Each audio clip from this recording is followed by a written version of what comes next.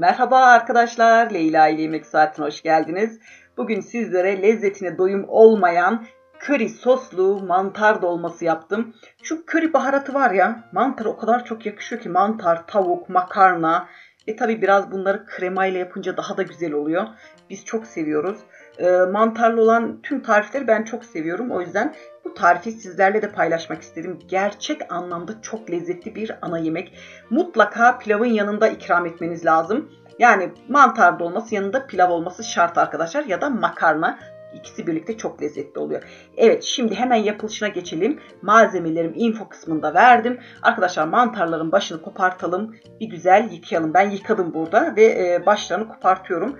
Yıkamadan kullanmak istemiyorum. Ee, bilmiyorum yani hijyen bakımından yıkamayı tercih ediyorum.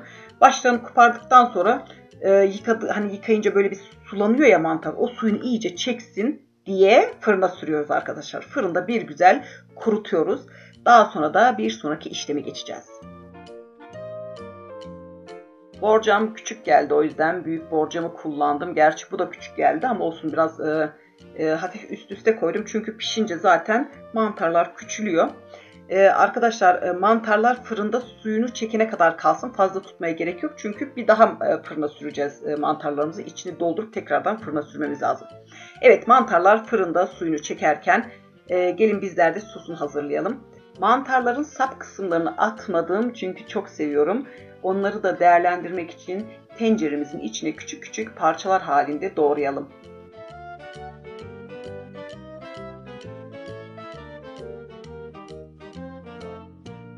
Doğradığımız mantarlarımızı böyle bir suyunu salıp çekene kadar kavuralım. Daha sonra mantarlarımızın içine kremamızı ilave edelim.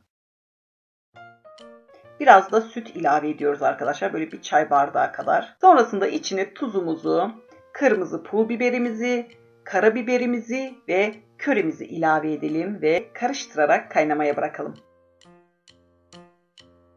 Ben köri baharatını e, kremalı tarifleri çok yakıştırıyorum. Mantarlı olsun, tavuklu olsun. Bunlar kremayla yapılınca içine bir de köri baharatı katılınca enfes bir ana yemek çıkıyor ortaya. O yüzden ben çok seviyorum. Bazı arkadaşlar köri baharatını pek sevemiyor. Ama denemenizi tavsiye ederim. Gerçekten bir deneyin. Sizler de emin olun çok beğeneceksiniz. Evet görmüş olduğumuz gibi sosumuz kaynadı. Şimdi mantarlarımız da fırında suyunu çekti. Hafiften de pişti. Şimdi çıkartalım. Küçük borcama şimdi sığıyor mantarlar. Tek tek borcamızı aldık. İçine de labne peyniri koyuyoruz arkadaşlar kaşık yardımı ile. Daha sonra da üzerine kaynattığımız e, köri soslu kremamızı döküyoruz. Ve kaşar peynirimizi de üzerine böyle tek tek koyduktan sonra tekrardan üzeri kızarması için fırına sürüyoruz. Vallahi bir, bir çıkıyor böyle bir çıkıyor fırından yanında pilavından bir servis yapın. Ondan sonra o sosundan da şöyle bir pilavın üzerine bir dökün. Bir birlikte yiyin. Bakın ondan sonra deyin ki bana Leyla abla iyi ki böyle bir tarifi bizlere vermişsin. Vallahi bana dua edeceksiniz kızlar yani şimdiden söyleyeyim. O kadar güzel bir ana yemek oldu ki bu yemek. Yani ben çok seviyorum. Çocuklar çok seviyor. Eşim ki benim eşim bilirsiniz yani devamlı da söylerim öyle sebze yemeği yemez ve bunu çok seviyor. Çok beğeniyor biz devamlı arada böyle bir yapıyoruz. Hani kremalı olduğu için çok sıkla yapmak istemiyorum. Malum benim kilolar almış başını gidiyor. O yüzden e, arada bir yapmaya özen gösteriyorum. Evet sosumuzu da döktük. Kaşarımızı da güzel üzerine yerleştirdik ve fırına verdik. Of fırından çıktı. Bir güzel oldu, bir güzel oldu ya. o kadar o kadar abartarak anlatıyorum ki siz de girin mutfağa yapın diye. Ay arkadaşlar yanında dediğim gibi pilav ikram etmeyi unutmuyoruz pilavla çok güzel oluyor. Ben böyle lezzetine doyamayaraktan yedim. Keşke kilolarımız olması da böyle. Ee, istediğimiz kadar yiyebilsek. Şu yiyip yiyip zayıf kalanlara var ya çok gıcık oluyorum ya. Vallahi bir de yazıyorlar Instagram sayfamdan. Leyla abla ben o kadar yemek yiyorum. Bir gram kilo alamıyorum diye. Nasıl oluyor da onlar alamıyor da biz alıyoruz ya. Vallahi bilmiyorum. Ay neyse sinirlerime hakim olmam lazım. Evet servisimizi yapıyoruz. Yani arkadaşlar bu tarif yapılmaz mı bilmiyorum. Üzerine de şöyle e, dolmaların üzerine de e, sosumuzdan gezdirelim. Daha sonra da afiyetle tüketelim.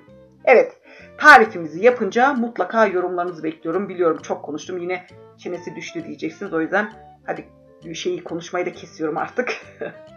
Tarifinizi yapınca ama mutlaka yorum bekliyorum. Yapmayınca da yazın kızlar. Yorum yazın, beğenin, abone olun. Hani destek çıkın, arkadaşlarınızı davet edin, sayfamıza bir şeyler yapın yani. Evet arkadaşlar tarifimizi yapan herkese şimdiden afiyetler olsun diyorum. Ve bir sonraki tarifte görüşmek ümidiyle kendinize çok iyi bakın. Hoşçakalın.